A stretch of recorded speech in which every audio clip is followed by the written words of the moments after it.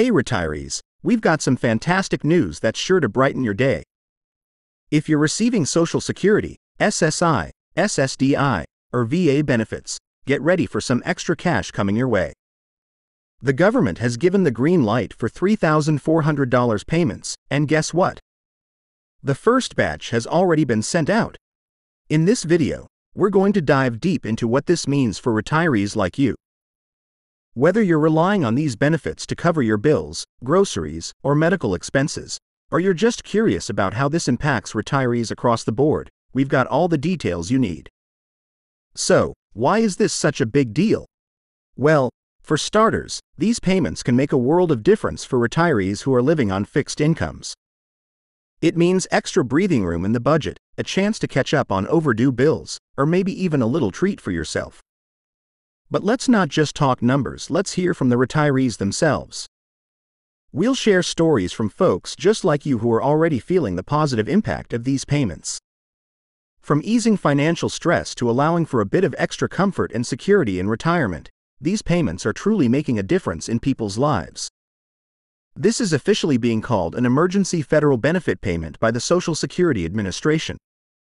It was approved by Congress and the President in late 2023 as part of the latest economic relief package aimed at offsetting inflation and the rising cost of living. Unlike regular Social Security payments or annual cost of living adjustments, this is a special one time payment approved due to the recent 40 year high inflation that has eaten into the buying power of fixed income recipients. The maximum payment amount is $3,428 per eligible recipient. However, the actual payment amount will vary based on each person's specific circumstances, such as their base benefit amount, marital status, and other factors.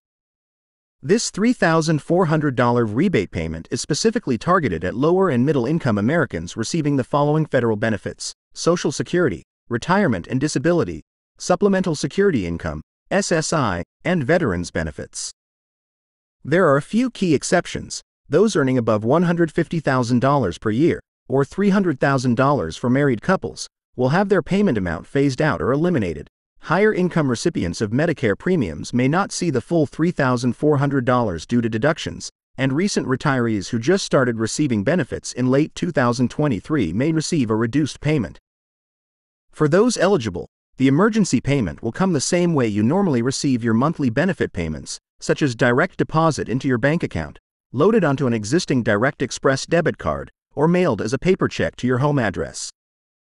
The Social Security Administration, Department of Veterans Affairs, and other agencies will automatically determine your eligibility based on your latest available tax returns and benefit payment history.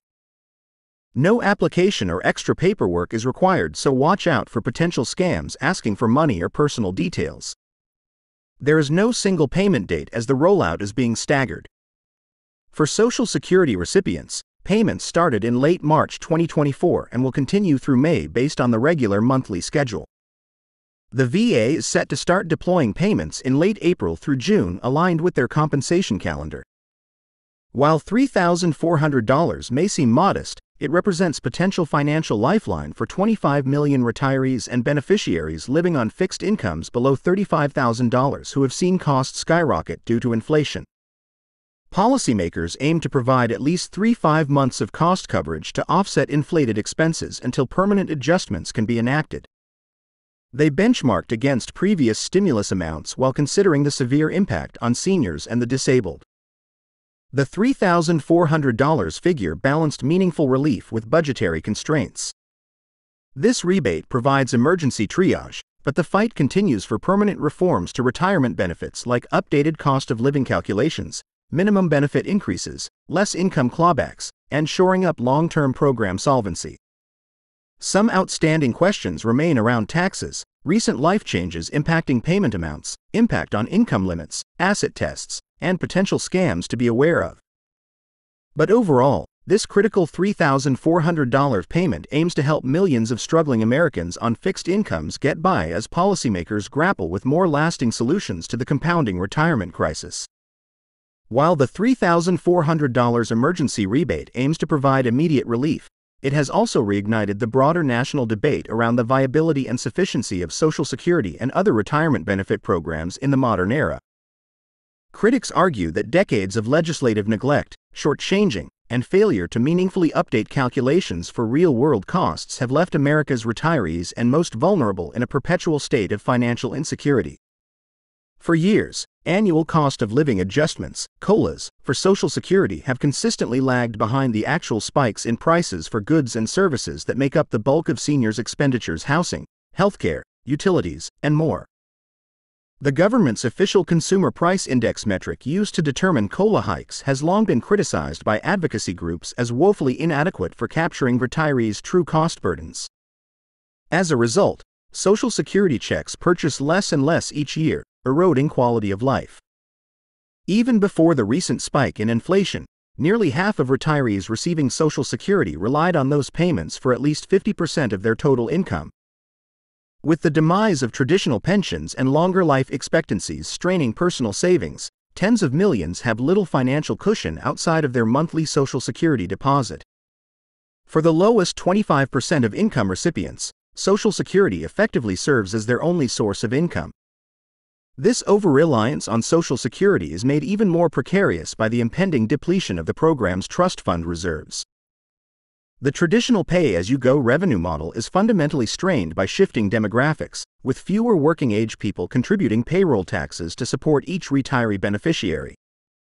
Within the next decade, current projections show benefit checks may need to be slashed across the board by over 20% if no legislative action is taken to shore up the funding shortfall. Proposed solutions run the gamut raising payroll tax rates, increasing the retirement age, implementing means testing for high earners, boosting supplemental payments for low income seniors, changing investment strategies for trust fund reserves, and more. Yet partisan gridlock and contention over benefit cuts versus tax hikes has stalled substantive reform for years as the clock ticks down. The Department of Veterans Affairs disability system faces its own litany of issues contributing to financial hardship for former service members. Despite recent overhaul efforts, the disability claims backlog persists with many waiting over a year for initial decisions.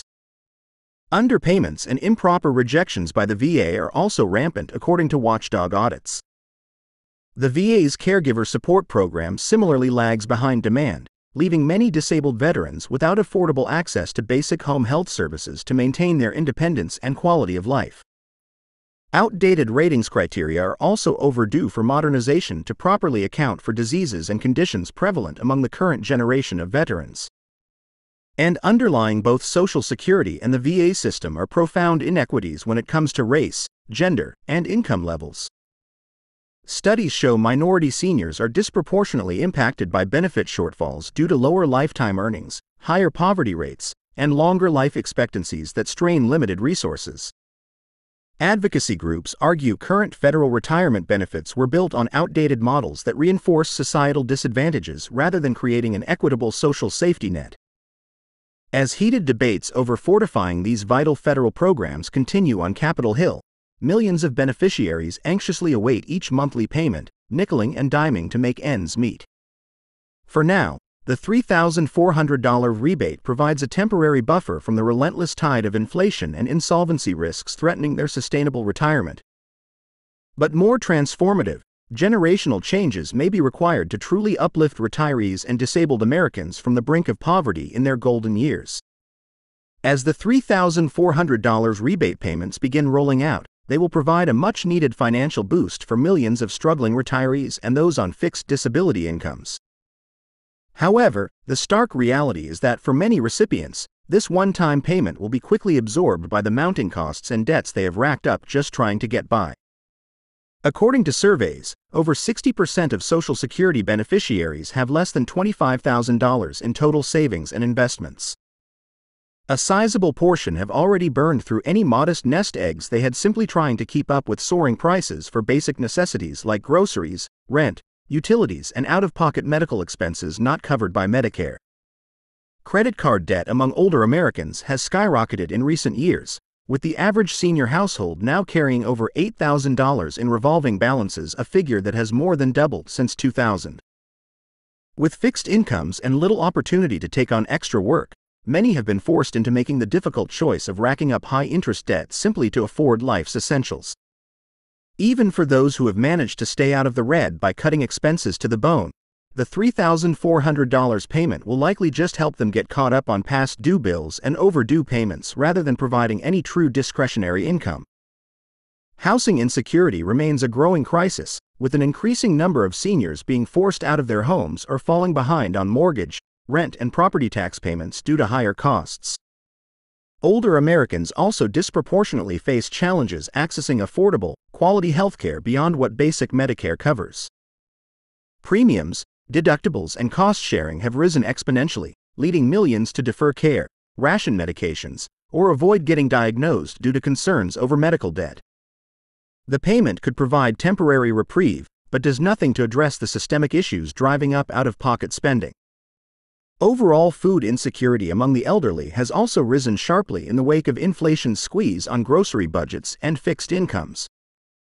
Looking ahead, many may opt to use the $3,400 to stock up on shelf stable goods in anticipation of further rising costs. However, the temporary cushion could run out all too quickly given the compounding pressures.